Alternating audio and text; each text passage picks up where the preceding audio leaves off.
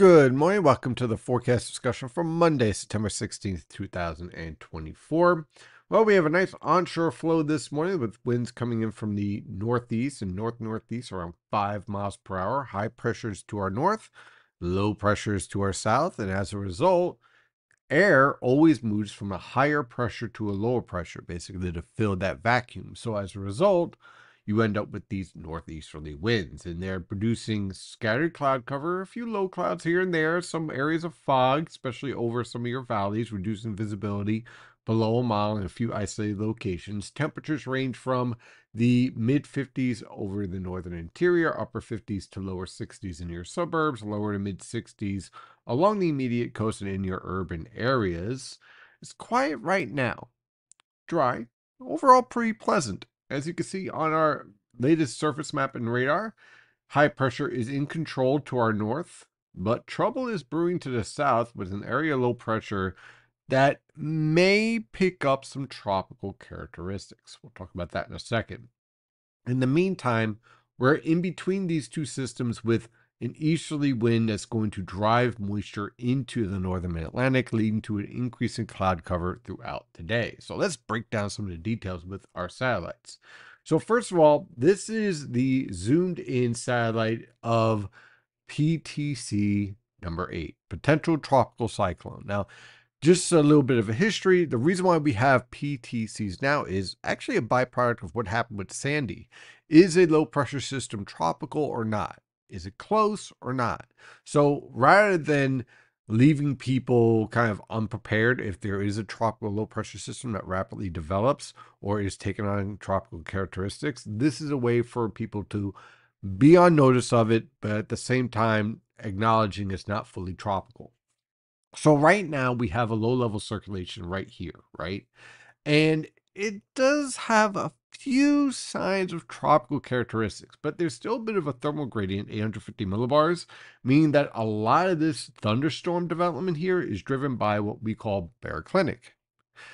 When we have a true warm core low pressure system, that is when it's driven by the release of latent heat with rapidly rising air. And part of that is that you have a closed, well defined low level circulation.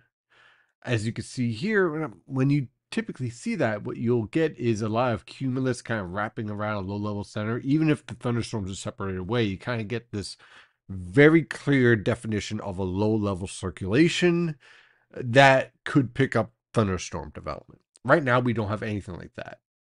We have an elongated low pressure system that is close, but not close enough. It has very strong winds on the north side here, where all this thunderstorm development is located at 45, 50 mile per hour winds.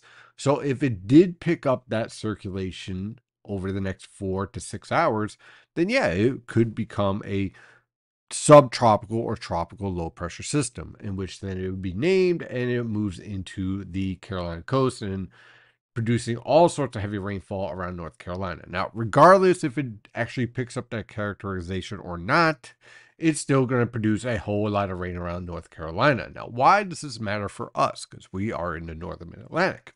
Well, this low pressure system and the moisture is going to be backing in under what we call an upper level low. So let's step back here. So you have an upper level low here, and this whole setup is developing on the east side of it, which is typical when you have a lot of divergence and diffluence aloft, a lot of rising air. We also have this little feature out here that's another low pressure system. This right now is featuring a lot of cold core characteristics, not really picking up anything warm core at all, but it's also going to get trapped under this upper level low.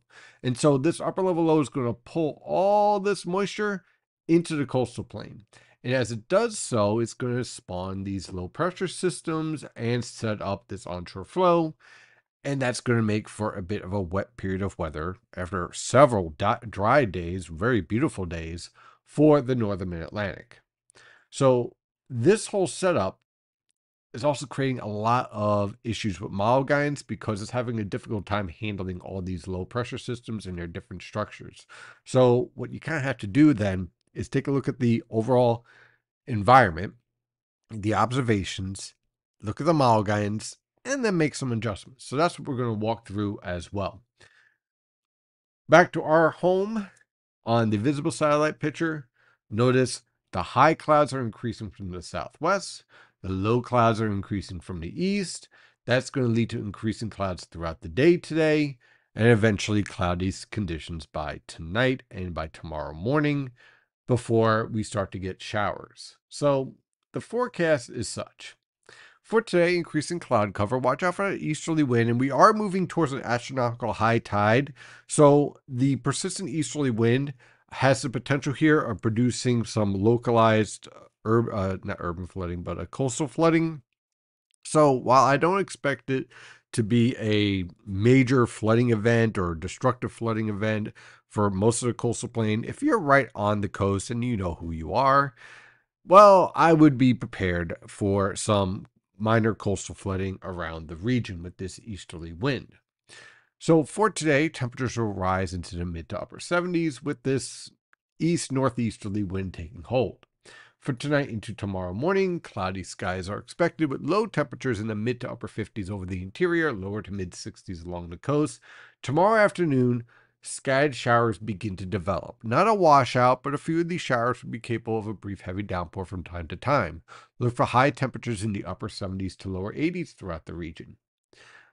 On Wednesday, that low pressure system tries to hold on here. It's very poorly defined.